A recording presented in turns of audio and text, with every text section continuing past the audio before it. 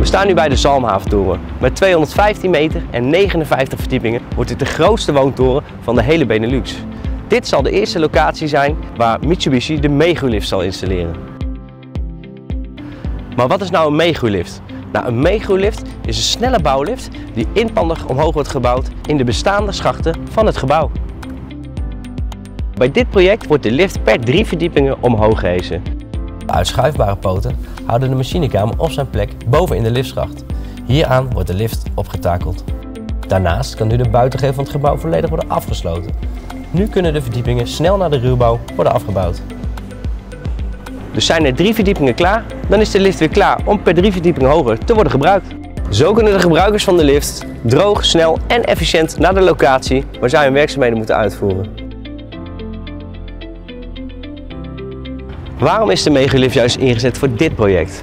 Nou, bij de Zalmhaven is er maar beperkt ruimte voor een externe lift aan de buitenkant van het pand. En omdat we te maken hebben met een extreem hoge toren voor Nederlandse begrippen, we te maken hebben met strakke deadlines, is goed, snel, verticaal vervoer van groot belang. Wat zijn nou de voordelen van deze Megalift? De Megalift is een echte snelle lift. Deze gaat wel 2 meter per seconde. In tegenstelling tot een traditionele bouwlift kun je je dus voorstellen hoeveel tijd en geld dit kan besparen gedurende de hele bouw van het pand.